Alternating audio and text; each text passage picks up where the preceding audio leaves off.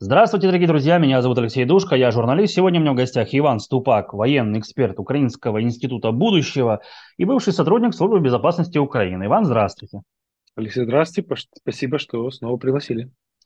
Да, сегодня будем говорить на такие темы. Начать войну теперь может каждый после действий Хамас. Почему не сработали системы оповещения, железный купол тоже не выдержал, а США всю помощь отдаст Израилю. Россия воспользуется шансом. Об этом, обо всем и о терроризме мы будем говорить после того, как ответим на вопросы от наших зрителей. Напоминаю, таблица интервью, короткие вопросы, короткие ответы, три вопроса от украинцев, три вопроса от россиян. По традиции начинаем с россиян. Нашим воякам уже доходит, что вся мощь армии России была только на бумаге, спрашивает видимо, умный зритель из России. Я думаю, да. Я думаю, доходит, и мы это видим по перехватам э, нашей разведки, нашей контрразведки, где они жалуются, что они идут на штурм с одними автоматами, без поддержки техники, то есть арматы они не видели на своем пути, они не появляются. Все рассказывают, что скоро победим, но пока победа не прогнозируется. Абрамсы в зиму не смогут-то воевать они не потянут США, потому что не приспособлены. США передает ВСУ одно барахло. Кто это придумал? Почему барахло? Почему решили, что Абрамсы одни зимой не ездят? Ну, это какая-то какая вот дикая пропаганда, лютая пропаганда. А, что минус один он уже не заведется, минус 10 он уже не поедет. Ну почему? Танк такой же самый, как и Т-72, как Т-80. Тоже там концепция гусеницы, ролики, башня. Ну, конечно, он поедет, конечно, будет воевать. Посмотрим, посмотрим, как он себя покажет. Посмотрим, как себя покажут российские танки э, зимой, да, вот тоже на подтягивают Т-90, прорыв. Глянем, конечно, все. Три вопроса от украинцев. Вчера слышал, что Путин и не хотел взять Киев и Одессу. А чего бомбили-то? А, это адаптация речи Путина под текущие реалии. Да? Вот, если у них, не дай боже, что-то будет получаться, то сразу же э, аппетиты растянутся в, ну, во многократно, да, раздвинутся, что мы хотим и то взять, и это. Кстати, эти аппетиты уже появляются, э, например, это Гаулятер Балецкий, мы хотим Финляндию, мы хотим а, Польшу, политическое руководство пока большое не признает эти аппетиты, но я уверен, что оно их имеет, то есть хотят двигаться дальше. У Путина говорят, что хотят мира. Это до поры до времени? Э, ну, им нужна передышка. Им не нужен мир. Им нужно перемирие, передышка, чтобы начать эту войну в срок до 2030 года. Вот я так вижу. Россияне перебросили корабли из Крыма в Новороссийск. Так говорят. Унизительно проигрывать дроном, когда у тебя есть флот. Абсолютно верно. Слушайте, еще раз, никто никогда не планировал, что большой корабль, который стоит сотни миллионов долларов, на который потрачено сотни тысяч тонн стали, в нем куча разной техники, примочек, он сможет э, быть потоплен маленьким дроном. По факту это даже не дрон, это гидроцикл, на котором в Одессе катаются вот, ну, в море летом, или в Турции, или в Египте. Это гидроцикл. И я уверен, что сейчас будут пересматривать все свои отношения, все страны мира к вот таким вот надводным беспилотникам. Слушайте, он может нести почти тонну взрывчатки. Конечно, это опасно. Это были вопросы от наших зрителей. Теперь давайте перейдем к темам, которые я озвучивал в начале интервью. Итак, начать войну теперь может каждый. ООН была очень решительно, это я сейчас иронизирую, конечно, мир, который раз э, дает понять, что войну может начать каждый. А вот он э, ничего не говорит, он, ну точнее, как там, просит теперь Израиль быть осторожнее, вести войну по правилам после того, как он пережил атаку, террористическую атаку Хамас. Э, но вот после этих действий, после того, как ничего не смогла предотвратить ни ООН, ни кто-то другой, Получается, действительно, войну может начать каждый. А, не каждый может начать, но не каждый может завершить ее так, как он себе это запланировал. Так можно сказать, старт был неплох. Но не каждому удавалось добегать до финиша или пробегать всю дистанцию в одном ритме. У россиян в Украине тоже старт был неплох. Да? Первый месяц было очень тяжело, но потом все пошло очень как не по плану. На что рассчитывали палестинские террористы, когда они начинали эту атаку? Одному только Аллаху известно. Да? Ну, как можно да, маленькими группами? Да, вы прорвались, а дальше что? А снабжение, а питание ваших военнослужащих, боекомплект. На что вы рассчитывали вообще? Какая задача была? Зайти, убить как можно больше мирных израильских жителей, расстрелять солдат, да, там, где там застали врасплох, угнать заложников, э, унести, э, увести, вернее, танки, бронемашины, где кому повезло, телевизор утащить в, в газу, и что, все? Ну, такое вот планирование двухходовое, да, ну, то есть очень наивно, и теперь, э, знаете, кто нарушил правила, тот, тот получает по всем правилам ведения войны. Ну вот действительно, на что рассчитывал Хамас? Это как получается моська против слона. Они что, не понимали, что, не будет, что будет серьезный ответ после таких, э, мягко говоря, резких действий? Ну, что там в Хамасе сидят одни дураки, не, ну, это неправда. Сидят расчетливые люди, да, которые террористы, расчетливые. У них должен был какой-то план. Где этот план? Когда он начнет работать? Ну вот я еще раз перефразирую такую фразу. Э, нарушая правила, готовься к последствиям. Вот последствия сейчас будут для газа очень серьезно. Возможно, они рассчитывали на что? Как это было в предыдущие годы, когда брали в плен, э, прошу прощения, израильских военнослужащих, то израильское государство вложило все на кон, чтобы вернуть этих э, военнослужащих. Вот, например, Гилад Шалит, да, вот 2005 год, я не ошибаюсь, это военнослужащий, капрал, ну, это не генерал, не полковник, не майор, это капрал. И на него, по-моему, поменяли тысячу палестинских террористов, чтобы вернули. То есть, ну, очень большое количество было. Вполне возможно, что э, Хамас рассчитывал, сейчас заберут огромное количество заключ... ну, пленных, а, а потом будут менять этих израильских граждан на там, на 200-300 там, своих террористов. Э, но, видно, видимо, они не рассчитывали, что будет такая война. Слушайте, для меня удивительно было, а, что Газа, ну, два момента, реально я был удивлен. Газа снабжается водой, электричеством с территории Израиля. То есть, ну, я когда этот момент упустил, я искренне скажу, я не специалист в Ближнем Востоке. То есть напасть на страну, которая снабжает тебя э, ресурсами, за которые ты существуешь. И следующий момент, огромное количество европейских стран э, помогают Палестине это Австрия, это Германия, ООН там тоже какие-то проекты финансовые. То есть вы даете деньги э, для того, чтобы террористический режим себя поддерживал. Все же, устраивая такую мощную террористическую акцию, на что надеялись лидеры Хамас? Кто-то что-то о чем-то их попросил. Эм, не понимали ли они, что за ними теперь устроят охоту? Вот, вот какая причина? Мне кажется, что не заложники все-таки была, э, как они это делали раньше. Ну, здесь трудный вопрос. Э, мы, мы, мы только гадаем с вами. Смотрите, опять же, ну, если начинать с самого начала, то вопрос, а как израильская разведка проспала всю эту подготовку? То есть это же не за один день, не за один вечер они собрались, они готовились несколько недель. То есть, получается, обошли всю израильскую агентуру, которая там была. То есть понимали, кто работает на разведку, максимально не привлекали этих людей, минимизировали их нахождение э, в системе принятия решений. И, то есть, и техническая разведка прощелкала все-все-все-все. И даже говорят, что, возможно, было даже предательство. Ну, не факт, не знаю об этом.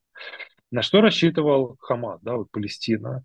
Возможно, ну, мое усмотрение такое аккуратное, возможно, они рассчитывали, что не будет такого ответа, возможно, что-то побояться э, уничтожать своих же сограждан, которых они взяли в заложники. Сейчас, кстати, этими израильтянами активно жонглируют палестинские террористы. Говорят, если вы будете приближаться, мы будем убивать по одному заложнику. Там, по-моему, после каждого удара будем убивать по одному заложнику. То есть, возможно, расчет был, что Израиль не посмеет нанести такой ответ. То есть мы, мы украли у вас столько людей, только попробуйте, мы их всех убьем. Возможно, был такой расчет. Возможно, он намного глубже со стороны тех стран, которые начали эту войну, возможно, отвлечь внимание от Украины, что начнется огромнейшая резня на Ближнем Востоке, все будет внимание приковано Израилю, Украине ничего не достанется. Но э, США сказала так, окей, мы готовы увязывать Украину с Израилем, но там не будет конкуренции. Там не будет такого, что вот вам на две страны, там условно, там 100 танков, да, ну, сколько вы себя заберете, Израиль, например, там 70, а вам 30, да, Украина будет по остаточному принципу. Украине и Израилю нужны совершенно разные виды техники. То есть мы там не будем пересекаться, и конкуренции не будет. Вот я только хотел об этом спросить. У нас же, получается, разные войны, по-разному все идет. Вот помощь от э, США э, к нам идет одна, а Израилю, скорее всего, будет другая. Я правильно понимаю? Можно конкретнее здесь? Да. Ну, смотрите, нам сейчас нужно что? Вот мы имеем дело с российским огромным количеством тяжелой техники. В Палестине ну, в секторе газа такой техники нету. То есть там не нужны танки, ну, джавелины зачем нужны, чтобы уничтожить танки? Нет. Противотанковые орудия какие-то? Нет, не нужны. То есть это все не нужно. Авиация есть у газа? Нету, конечно. То есть стингеры тоже не нужны. А, противоракетная оборона. Окей, как вариант. Но она нужна не а, в виде патриотов, которые это большие, которые сбивают большие цели, а нужно что-то маленькое, ну, что-то в районе, ну, скорее всего, гепарды, э, возможно, айристи, ну, что такое маленькое, что сбивает вот эти вот самодель, самоделишные ракеты, не, то есть так, Израиль маленькая страна. Это по размерам Сумская область. Ну, вообще. В самом широком месте это от Киева до Житомира. Ну, ну понятно, что эти ракеты летят там 10-15 километров, э, но в масштабах Израиля это какая-то часть страны, большая часть страны. И нужно что-то маленькое для ближнего боя, для сбивания. Ну, как вот шахеды у нас сбивают.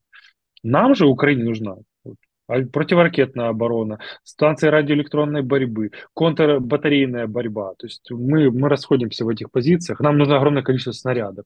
А Израилю нужно, скорее всего, больше что? А, поддержка с моря. И я думаю, сейчас вот будет зачистка, и нужна бронетехника, а, там бронеавтомобили, скорее всего, нужны дополнительные. Что еще, что еще, что еще, что еще, что еще? И вот средства противовоздушной обороны, ближнее, ближнее ПВО. Говорят, США отправили авианосец в Восточное, Восточное Средиземное море. Это решит вопрос, будут ли США вступать непосредственно? Или только в случае, Я если... думаю, да-да. Или только в случае, если присоединится к э, Хамасу еще кто-нибудь? Я думаю, что если кто присоединится и будет обстреливать территорию Израиля, например, со, со стороны Иор... Иор... Ливана, Ливана, со стороны Ливана, то я думаю, что эта группировка морская, она будет просто точечно поражать цели, откуда наносятся эти удары, и все. То есть вот, вот такая поддержка будет, а Израиль будет самостоятельно проводить наземную операцию. Я думаю, что США принимать участие в ней не будут. Зачем еще своих солдат отправлять в сектор газа, зачищать его? По состоянию на 2020 год население э, газы это приблизительно 2 миллиона человек. Вопрос, что с ними делать? Понятно, что не все из них поддерживают терроризм, кто-то там прямо, кто-то опосредственно, кто-то против, но он заложник, но огромное количество людей там остается, женщин, детей, что с ними делать? Я не думаю, что Израиль будет устраивать массовую резню, уничтожать 2 миллиона человек. Даже в целях какой-то мести, сатисфакции, я думаю, этого не будет. Вопрос, ринутся ли они в Египет, пустят ли в Египет, или какой-то коридором создадут, там, не знаю, морской, чтобы они в э, Ливан передвинулись, не готов сказать, но это вопрос, который Израилю придется решить такой гуманитарный. И кормить же этих людей надо хотя бы один раз в день, хотя бы воду давать. То есть не маленькое количество населения. Это пол Киева, считайте. Хороший давайте, давайте вернемся, это если без приезжих считать. Э, давайте вернемся к авиации США. Будет она задействована в Израиле? Это усложнит поставки F-16 Украине? Или э, США есть достаточное количество самолетов? Всего было произведено порядка 4000 единиц F-16. Поэтому я думаю, что проблем с этим быть не должно. Нам их нужно около сотни на первом этапе. Возможно, две сотни. Что-то будет ломаться, что-то будет сбиваться. Российская Федерация, ну, это, это, же, это жесть. Это, вернее, это жизнь. Это жизнь, и это железо. Оно имеет свойство ломаться, уничтожаться. А здесь, я думаю, что авиация поддержит, а, поддержит, поддержит эм, Авиация поддержит, скорее всего, наступление э, израильтян с точки зрения, чтобы не было, там, например, какие-то обстрелы, да, там, к большими ракетами со стороны Ливана, ну, например, как вариант. Вот я думаю, в этом поддержка будет. Ну, создать такую благоприятную обстановку. Ну, и патрулировать будет, скорее всего, побережье. А, допустим, э, начинается какая-то заварушка с севера Израиля. Это начало Третьей мировой? Вы знаете, я считаю, что мировая война уже идет. Уже идет, уже сейчас. Вот это Украина, вот, Украина против России, с нами 50 плюс стран, там еще какие-то страны с Российской Федерацией. Я уверен, что Третья мировая уже идет, а это уже будет какая-то, какое-то ответвление на Ближний Восток. Но вопрос, как смогут э, страны Ближнего Востока, которые выступят против Израиля, поддерживать э, население или, не знаю, военную операцию против Израиля, если Израиль действительно будет настроен уничтожить всех своих врагов с помощью США, то будет, конечно, уничтожать ракетными обстрелами, где-то там авиация будет залетать. Ну, то я уверен, что война мировая уже идет. Э, говорят, что побаиваются э, СМИ из Южной Кореи, что теперь воспользуется э, Северная Корея, так же как Хамас воспользовался mm-hmm. неожиданностью, да, Северная Корея может быть. Как считаете, вброс какой-то или реально?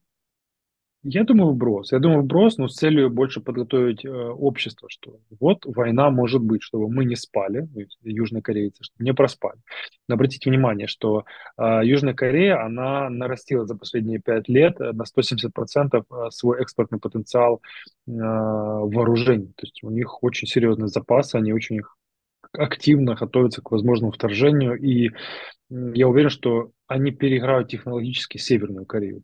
Вот смотрите, северяне рассчитывают, э, вот из того, что мы знаем, на артиллерию. Вот они это это что, бог войны, да, артиллерия, но э, контр, контрбатарейная борьба, она тоже очень важна. Когда твоя техника улавливает, откуда произошел залп, и может моментально сориентировать твою артиллерию, уничтожить э, противника, то ну, грош цена этой артиллерии. Если мы говорим от... Сейчас начались разговоры о том, что Израиль может применить ядерное оружие, потому что э, если там вдруг на них нападет еще кто-то, кроме Хамас, э, Северная Корея может применить ядерное оружие против э, Южной Кореи. Ну, вот эти вот разговоры такие ведутся. На руку Путину? Ну, ему на руку какая история? Вот я не, я не готов сказать. Действительно, он это запланировал, он как стратег или просто все так складывается.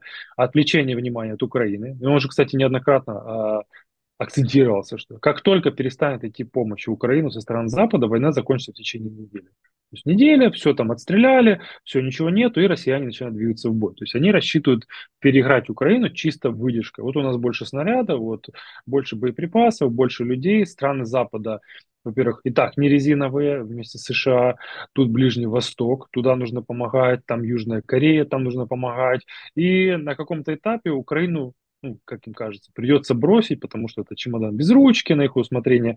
И вот э, как-то вот так оно все и закончится. Да? Там будет помогать Израилю, ближайшему союзнику Южной Кореи, а Украина останется один на один с Российской Федерацией. Вот такой расчет, конечно, у них есть.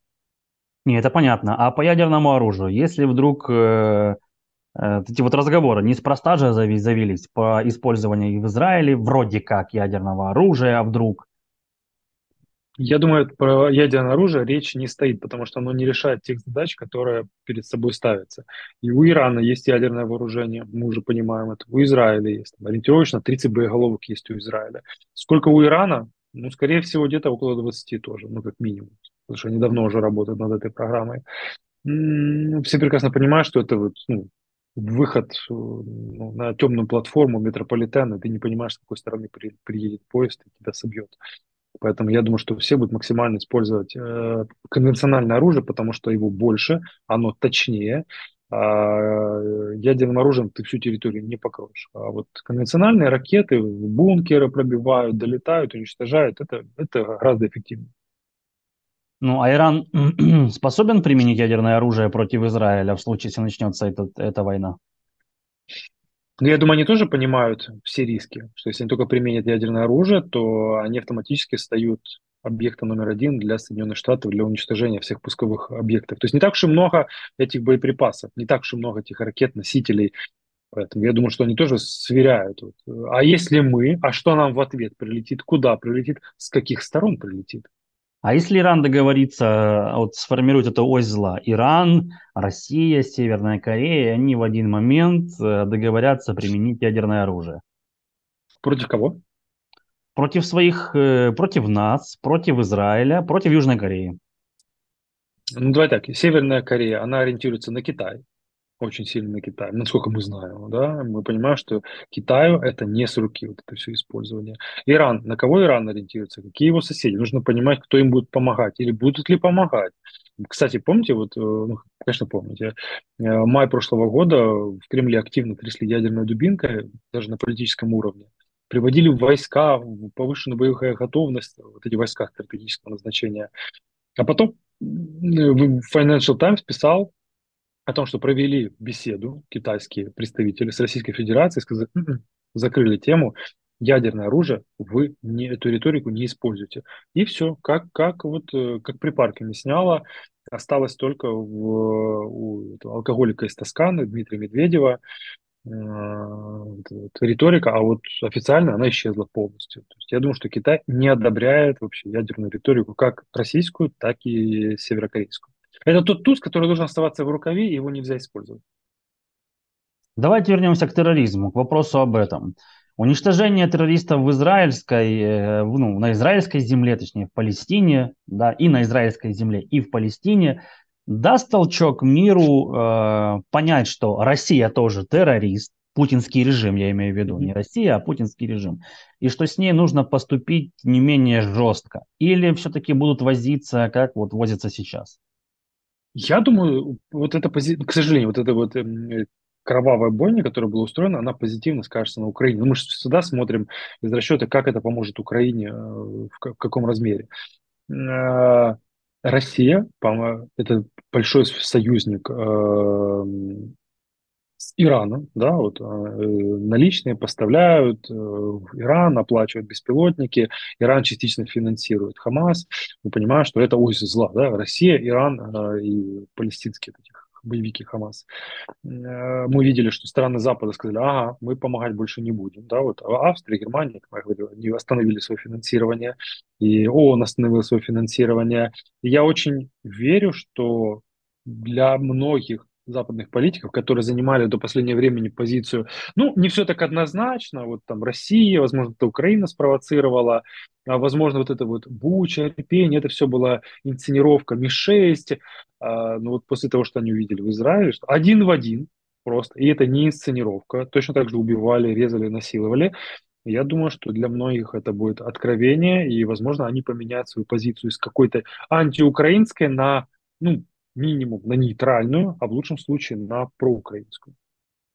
Но с другой стороны, сейчас Израиль обвиняет в том, что он очень жестко обходится с э, жителями Палестины, которые по сути вроде как не поддерживают Хамас, да, и они его заложники. Ну вот то же самое, что и с российским режимом, что есть люди, которые за Путина, эй, вперед, да, есть люди, которые просто э, заложники этого режима, они не могут выходить на улицы, их арестовывают просто даже за плакаты. Вот сейчас даже есть э, где-то в Калининградской области э, ФСБ предупредила э, народ, что нельзя выходить с израильскими флагами в поддержку. Вот это вот все э, не аукнется как-то вот на, на, на теме, что нельзя с Путиным тоже жестко.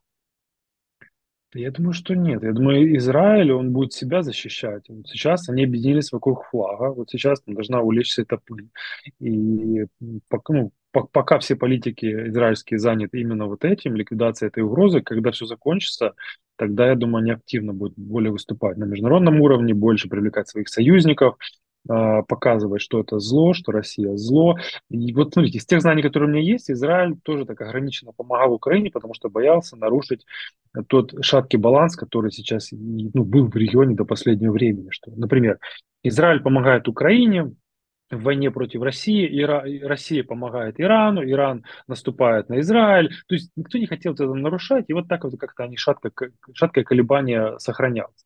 Но сейчас все уже, ну, это вторжение. Я думаю, что Израиль тоже должен пересмотреть свое отношение к войне в Украине, выступить со своей позицией политической. Еще раз, израильские политики тоже будут работать по всему миру. Израильское лобби есть в Латинской Америке, в Северной Америке, в странах Африки, я думаю, что они будут активно работать, призывая вот уничтожить вот терроризм, как он есть. Можно уничтожить путинский режим и путинских приспешников, так же, как уничтожает э, израильская армия хамасских лидеров. Там точно бьют э, ракетами э, там, по бункерам, где они сидят, по домам. Одна ракета, один бункер, один какой-нибудь там представитель путинского режима. К сожалению, у Путина эм, ядерные ракеты есть. 5000 ядерных боеголовок, поэтому, к сожалению, так уничтожать нельзя, и страны Запада на это не пойдут. Видите, нам даже ракеты передают очень-очень тяжело, очень ну, трудно. Таурусы, атакамсы, потому что боятся вот этой еще эскалации. Я уверен, что после Израиля, ну, ну, для адекватных политиков это должен быть решающий момент для передачи нам вот такого вооружения. Но точечно российских командующих, политиков, я думаю, уничтожать не получится. Э, вот так вот ракетами. Убивать где-то возле дома, ок, это возможно. Какие-то террористические такие вылазки мелкие, да. А вот так, чтобы ракета прилетела условно где-то на Лубянку и снесла это все здание ФСБ, ну это вряд ли. Что сейчас предпримет армия Российской Федерации в Украине, учитывая вот условия, которые, как по мнению Путина, мир отвлечен на Израиль? Наступают, наступают, Авдеевка пытается наступать. Вот с последние дни очень активно, очень двигаются сильно. Где-то мы там свои позиции теряем, где-то удерживаем. Были видеоматериалы в, в, в сети, где колонна российских танков, вот там первый танк падает с моста понтонного, да, и тонет, по-моему, в этом переправе. То есть Россия пытается сейчас наступать. И они вот там просто там шабаш какой-то в российских пабликах. Ура, ну наконец-то пошло, все, мы движнячим. Наши военные сдерживают. То есть э, то, что происходит в Израиле, то, что творит Хамас в Израиле для ура-патриотов этих, да, для военных, это какая-то... У нас нет побед, давайте смотреть, как э, Хамас убивает израильтян, насилует женщин и расстреливает семьи. Ура, это весело, давайте теперь так с Украиной. Да, да, и, кстати, вот э, что меня, ну, не то, что, ну, возмутило, да, действительно. Ну, хотя, в принципе, что возмущаться, и мы понимаем, кто такие россияне. А, вот это ДШГ Русич, да, и они пишут, да, в своих пабликах, жалко, про Израиль, да? Жалко, что мы не там. То есть, ну, ну вы поняли, да, какие, какие животные? Терроризм а, в разных регионах, но с одинаковым лицом, да? Да, с российскими почерк, почерк полностью одинаковый. Давайте ответим на второй блиц от наших зрителей. Напоминаю, здесь нужно продолжить фразу. И первая фраза такая. Желание жить у Путина не позволит ему... Продолжите фразу не позволит ему нажать красную кнопку. Но он трус, по большому счету. Он трус, он никогда никуда не избирался, он никогда не проводил публичные кампании вот, э, ранее, до назначения своего вот, преемником Ельцина. Он трус, он трус, он боится, боится своего окружения, боится ядерной войны, боится сгореть. У него есть дети, внуки, он боится. Он не фанатик. Путин перед самым поражением, продолжите фразу. Сойдет с ума. Сойдет с ума, скорее всего. Как свихнувшись, а может сойти с ума, объясните мне. Ну. Ну, сейчас он больше сейчас э, одержим Украиной. Мне кажется, он сойдет с ума даже для своих близких, он перестанет быть понятен. Вот. И сейчас он как-то еще, пон... как-то еще пытается объяснить то, что происходит. Имперскость, мы собираем земли, Советский Союз. Но есть еще куда сходить с ума. Это как Гитлер, когда войска союзников уже окружали Берлин, а он говорит, мы сейчас победим. И когда Гитлер стоял вместе с Альбертом Шпеером над э, макетом нового Берлина, как мы его отстроим, то есть вот там а, околицы, как, окрестности Берлин, Берлина бомбардируют, да, там союзники стоят, а он стоит, вот тут мы построим площадь, тут вот какой-то амфитеатр еще сделаем. Первый, кто предаст Путина, будет я много в прошлый раз, не в то, что в прошлый раз, когда-то вы спрашивали уже, у меня такое убеждение, что это будет Сергей Кириенко. Это первый зам главы администрации президента Путина. Вот он серый, серый технократ, который предаст, но он предаст, скорее всего, тихо. Он может даже, ну, мои предположения, может и сейчас вести какие-то такие сепаратные переговоры. Но явно кандидатура, которая явно предаст, это, скорее всего, будет э, Кадыров. Потому что чем больше человек клянется тебе в верности, в преданности, это значит, что он первый тебя кинет. Причем кинет с борцовским приемом и будет очень больно. С Путиным Запад будет вести переговоры, если... Назовите такие условия. Если российские войска выйдут из Украины, если они оставят Крым, Донецк, Луганск, то, конечно, с Путиным будут вести переговоры. Проигрыш в войне не означает крах режима. То есть очень возможно, что Путин снова попробует и сможет даже выстроить отношения, ну, как минимум, как минимум сейчас мы видим с Венгрией, как минимум, наверное, со Словакией, может даже приехать Илон Маск в Россию. То есть как-то вот они могут выстраиваться. Но это вот единственное условие, которое я вижу. Путин застанет распад России при условии... Ух, какой вопрос у вас. Путин станет при условии... Господи, Путин застанет распад России при условии, если... Это первый вопрос, который меня поставили в тупик. Я даже даже ничего не рождается. Я, я больше чем уверен, что он не застанет распад России, что он умрет раньше его. А как считаете, до скольки доживет Путин? Вот недавно дедушке был 71, э, великому, 70... неповторимому дедушке был 71. А когда-то же был молодым, энергичным, начинающим политиком. А, я думаю, что вот то, что происходит сейчас, вот все вот эти вот э, потрясения, там доллар вот это вот растет у них, там, да, там 100 рублей. И мне очень понравилось, как говорит министр финансов, говорит, ну, если ничего не покупать, то ничего не дорожает, да, ну, такая классная политика, это все нормально.